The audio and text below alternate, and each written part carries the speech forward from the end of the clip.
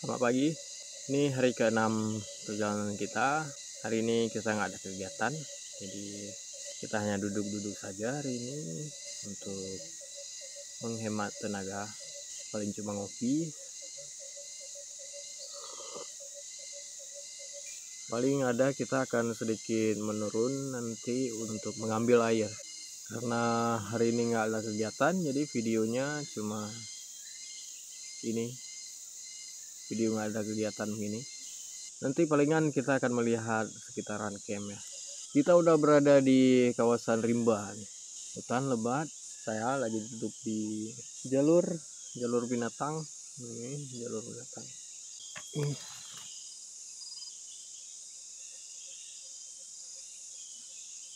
Dan di belakang lembah itu. Rimba sana ini ke bawah ini kita ambil air ke bawah nih. Nanti. Beginilah kawan-kawan kondisi hutan cagar alam Aceh Besar. Agak silau ya. Coba ke arah sini oke. Hari ini kita lebih ke mendengar suara-suara alam mendengar langsung suara-suara burung di alam bebas. Ini terapi yang sangat menarik ya.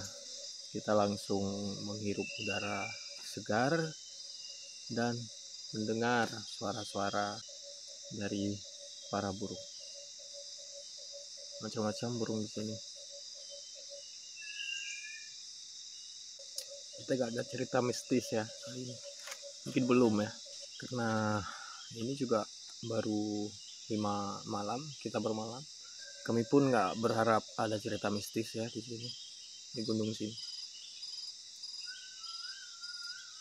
pokoknya semoga perjalanan kita baik-baik saja lah tidak ada kendala apa pun kendala mistis kendala di lapangan atau kendala apa pun lah.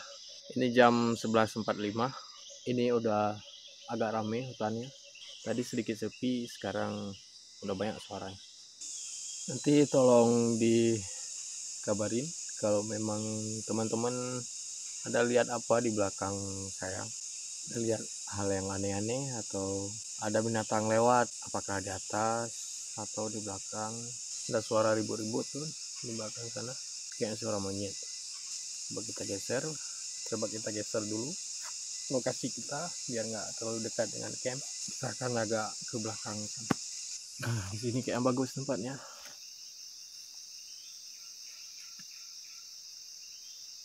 Hari ini kita benar-benar mau mendengar suara alam secara langsung.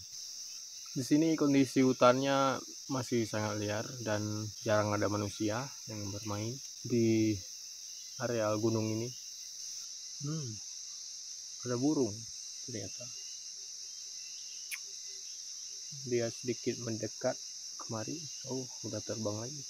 Kalau nggak ada kegiatan eksplorasi begini ya kegiatan saya palingnya cuma ngerokok sama ngopi sambil duduk di tempat yang bagus dan mendengar merasakan dan mengamati.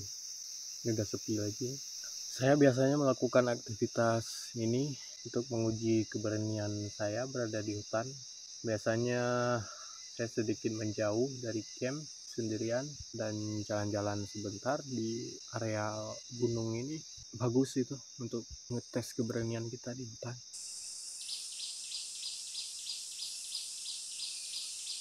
Udah mulai bersuara lagi nih para burung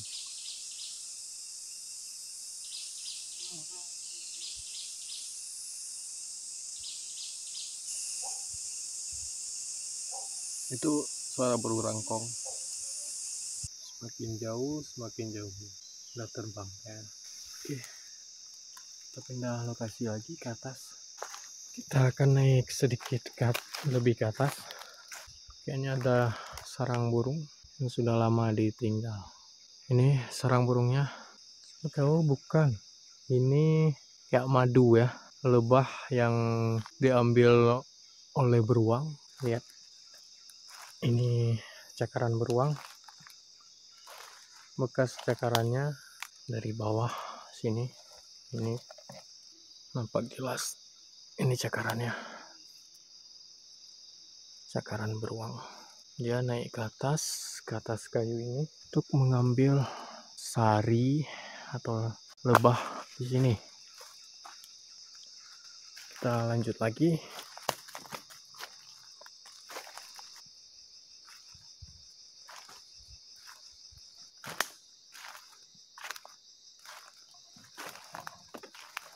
di sini kayaknya cocok nih. Kita akan duduk di sini lagi untuk mendengar dan mengamati.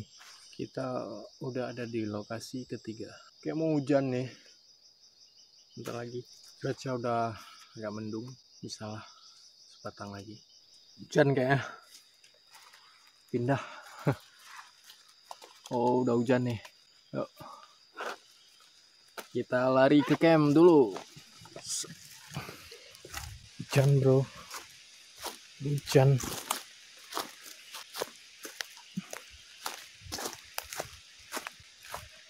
Camp agak jauh lagi.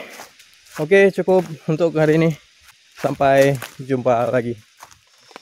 Oke kawan-kawan jam 17.20 setelah diguyur hujan tadi selama 5 jam kita berhasil ngumpulin air ini di dryback 15 liter dan di poples hmm, 9 liter. Cukuplah untuk hari ini dan esok pagi. Jadi kita nggak harus turun ke bawah lagi untuk mengambil air di sungai. Oke waktunya makan malam